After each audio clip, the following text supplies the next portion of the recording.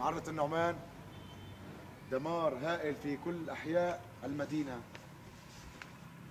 ثلاث مباني سويت بالكامل. صواريخ فراغية همجية نحن نقسم أن إسرائيل لم تفعل ذلك في فلسطين. الهمجية الأولى في العالم. هنا كان يسكن شاب عراقي متزوج. هرب من الموت الأمريكي في العراق وجاء إلى سوريا ومعرة النعمان بالتحديد. ضل يومين تحت الأنقاض. بعد ما طلع من تحت الأنقاض رونا القصة أنه يومين عم عم يحفر لحتى طلع من تحت الأنقاض. رب العالمين سلمه. يعني الهمجية على المدنيين.